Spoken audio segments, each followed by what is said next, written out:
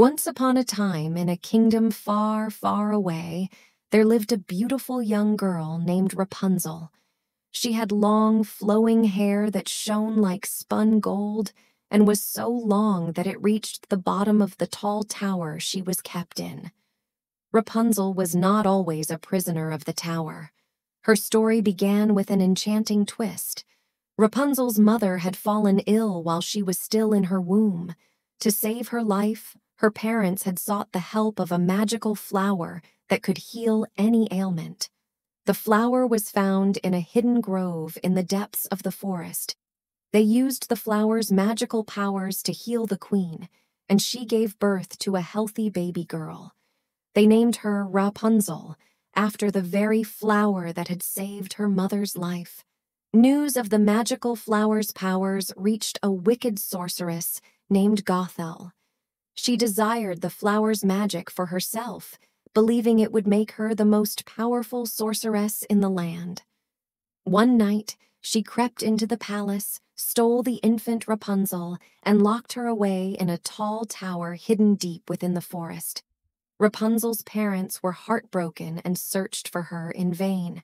As the years passed, Rapunzel grew into a beautiful and kind hearted young woman.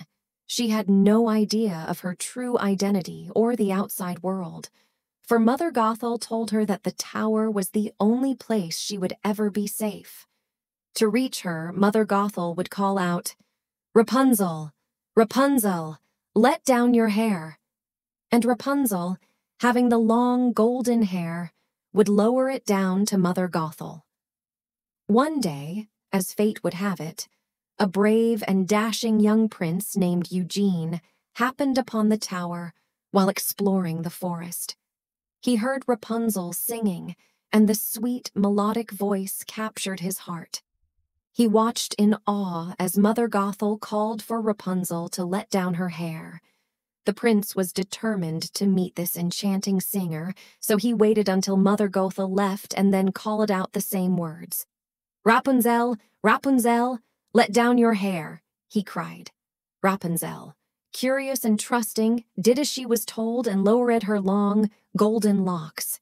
Eugene climbed the tower, and when he reached the top, Rapunzel was shocked to see a stranger. But Eugene's charm and kindness quickly won her over. He explained that he had heard her singing and just wanted to meet her. Rapunzel was fascinated by the outside world, and Eugene promised to take her there.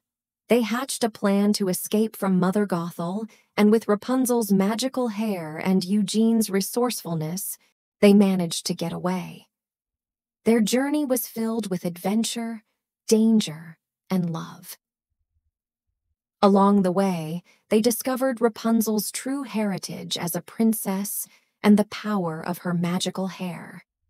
They encountered ruffians, royal guards, and even the wrath of Mother Gothel, who pursued them relentlessly.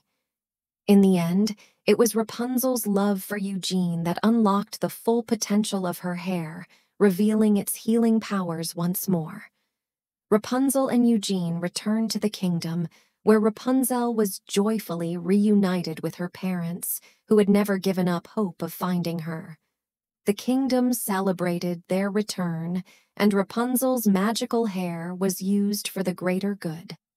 Rapunzel and Eugene were married, and they lived happily ever after, using their newfound knowledge and experiences to become wise and just rulers.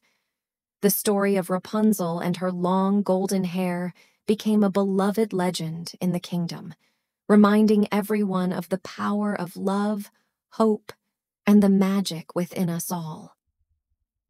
The moral of the story of Rapunzel is that love, courage, and the pursuit of one's dreams can lead to liberation from the confines of a sheltered existence.